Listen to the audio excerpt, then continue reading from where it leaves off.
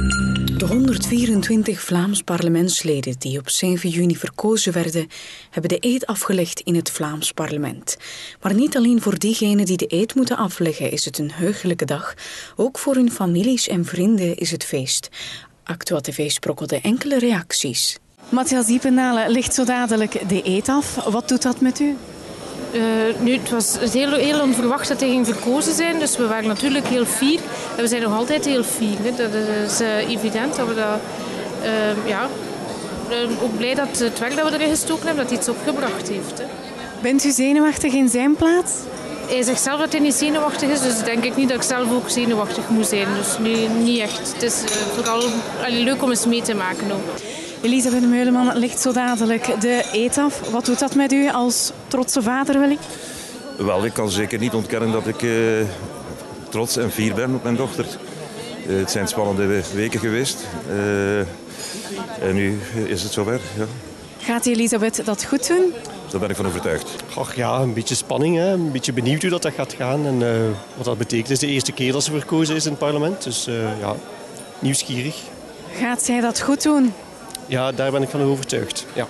Bent u eigenlijk zenuwachtig in haar plaats? Want het is natuurlijk een hele grote dag voor haar, maar ook voor u.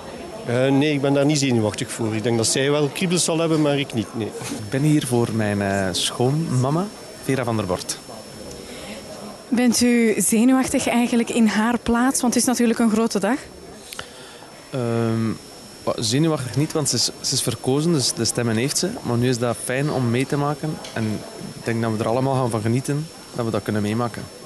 Gaat zij volgens u een mooie ambtstermijn tegemoet?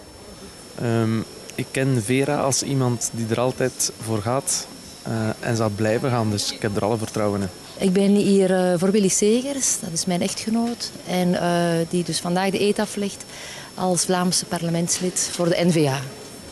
Bent u zenuwachtig? Uh, dat valt mee, maar ik denk dat uh, Willy vooral zeer zenuwachtig is. Al van, uh, omdat het toch voor hem een grote dag is. Iets waar hij heel erg naartoe geleefd heeft en waar hij heel hard voor gewerkt heeft. En het is toch wel heel, heel speciaal. We zijn wel allemaal heel fier dat hij het uiteindelijk bereikt heeft. Hoe ziet jullie dag er eigenlijk uit? Nu is er de eetaflegging en alles wat daarbij hoort, maar wordt er ook gefeest? Uh, daarna heeft er een receptie plaats voor de parlementsleden, nieuwe parlementsleden en aanverwanten. En daarna moet Willy naar een personeelsfeest van zijn uh, vorige job. Hij was docent in een hogeschool. En daar moet hij nog het, het personeelsfeest meemaken. Voor ieder gezet.